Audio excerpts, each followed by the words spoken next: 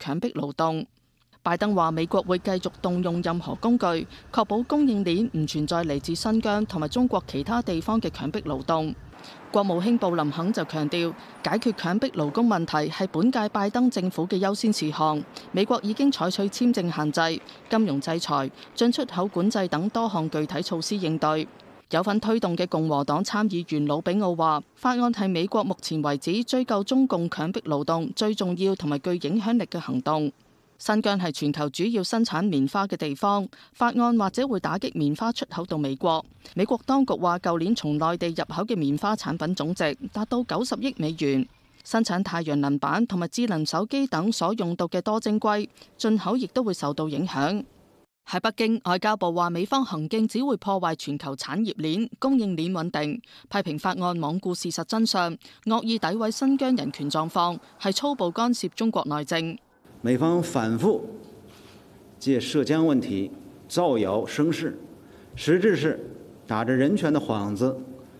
搞政治操弄和经济霸凌，企图破坏新疆繁荣稳定，遏制中国发展。强迫劳动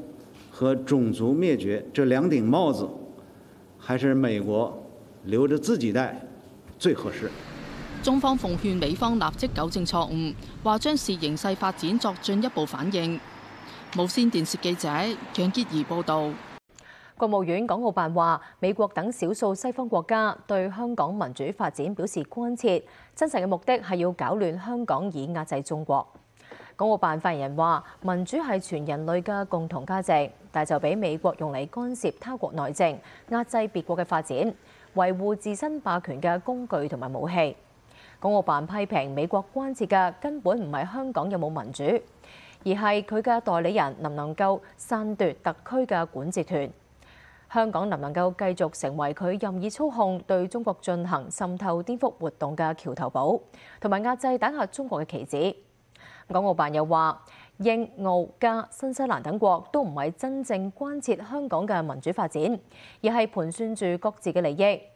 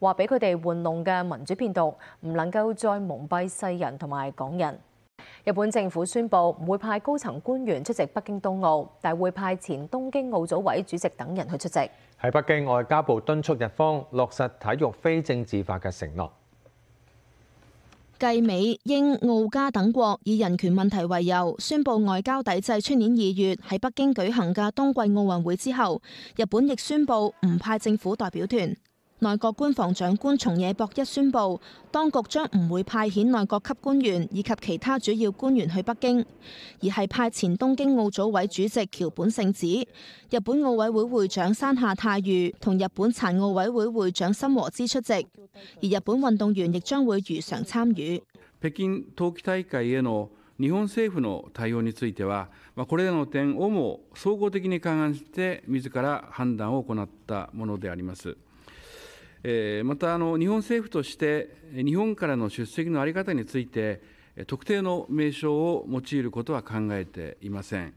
松野又話：日本認為中方應該保障自由、人權、法治等國際社會普遍價值，日方將會透過唔同層面直接同中方對話。